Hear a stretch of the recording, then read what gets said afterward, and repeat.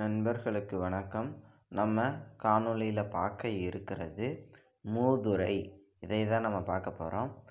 அறநூல்கள் தமிழ் இலக்கியத்தில் நிறைய இருக்குது நம்ம பதினெண் கீழ்கணக்கு நூல்கள் அப்படின்னு சொல்லி பதினெட்டு நூல்களை அறநூல்களாக சொல்கிறோம் அதை தவிர பிற அறநூல்களும் நம்ம நம்முடைய தமிழ் இலக்கியத்தில் குவிந்து கிடைக்கிறது அதில் ஒன்று தான் பார்த்துட்டோம்னா இந்த மூதுரை அப்படிங்கிறது மூதுரையின் ஆசிரியர் யார் இருந்த நூலை எழுதியவர் யார் அப்படின்னு பார்த்தோம்னா ஔவையார் அவங்க தான் வந்து மூதுரையை எழுதியிருக்கிறாங்க இதற்கு இன்னொரு பெயர் தான் வந்து வாக்குண்டாம் அப்படின்னு சொல்கிறது இப்போ வந்து க இந்த மூதுரையினுடைய கடவுள் வாழ்த்தில் முதலாவது அடியிலேயே முதலாவது வார்த்தையாக வாக்குண்டாம் அப்படின்னு தான் ஆரம்பிக்கும் அதனால் இந்த மூதுரைக்கு வாக்குண்டாம் அப்படின்னு இன்னொரு பெயரும் இருக்குது வாங்க நம்ம இப்போ அடுத்ததாக கடவுள் வாழ்த்தை பார்க்கலாம் சொன்னேன் இல்லைங்களா பாருங்கள் முதல் வரியிலேயே முதலடியிலேயே வாக்குண்டாம் அப்படின்னு தான் ஆரம்பிக்குது அதனால் இதை இந்த மூதுரை நூலுக்கு வந்து வாக்குண்டாம் அப்படிங்கிற பெயர் ஒன்று வழக்கமாக சொல்லிட்டு வராங்க கடவுள் வாழ்த்து பார்க்கலாம் வாக்குண்டாம் நல்ல மனமுண்டாம் மாமலரால் நோக்குண்டாம் மேனின் உடங்காது பூக்கொண்டு துப்பார் திருமேனி தும்பிக்கையான் பாதம் தப்பாமல் சார்வார் தமக்கு இப்போ வாக்குண்டாம் அப்படின்னா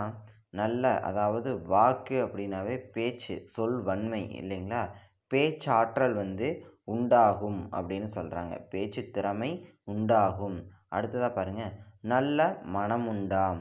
நல்ல உள்ளம் உண்டாகும் அதாவது எண்ணத்தில் தெளிவு ஏற்படும் தூய்மையான ஒரு அறிவானது தெளிவானது நமக்கு கிடைக்கும் அப்படின்னு சொல்கிறாங்க அடுத்ததாக மாமலரால் நோக்குண்டாம் அதாவது தாமரை மலரில் வீற்றிருக்கக்கூடிய செல்வத்திற்கு உகந்தவளான திருமகளினுடைய பார்வை நமக்கு கிடைக்கும் அதனால் நாம் செல்வம் பெறுவோம் அப்படின்னு சொல்கிறாங்க அதுதான் மாமலரால் நோக்குண்டாம் மேனி நுடங்காது மேனி என்றால் உடல் நுடங்காது அப்படின்னா நோய்வாய்ப்படாது வயோதிகத்தாலேயோ இல்லது வேறு ஏதாவது நோய் காரணத்தினாலோ நமக்கு எந்த ஒரு பிணியும் நம்மை வந்து அண்டாது அப்படின்னு சொல்கிறாங்க இதெல்லாம் எப்போ நடக்கும் அப்படின்னு பாருங்கள் பூக்கொண்டு துப்பார் திருமேனி தும்பிக்கையான் பாதம் அதாவது தினந்தோறும் மலர்களை கொண்டு மலர்களை கொண்டு துப்பார் அப்படின்னா பவளம் போன்ற அப்படின்னு ஒரு அர்த்தம் சொல்கிறாங்க பவளம் போன்ற திருமேனி தும்பிக்கையான் பாதம் பவளம் போன்ற திருமேனியினை உடைய தும்பிக்கையான் அப்படின்னாவே நமக்கு தெரியும் விநாயக பெருமானை சொல்கிறாங்க விநாயக பெருமானினுடைய பாதத்தினை தப்பாமல் சார்வார் தமக்கு தினந்தோறும் தவறாமல் மலர்களை கொண்டு விநாயகரினுடைய ம திருவடியை அர்ச்சித்து வருவோருக்கு நல்ல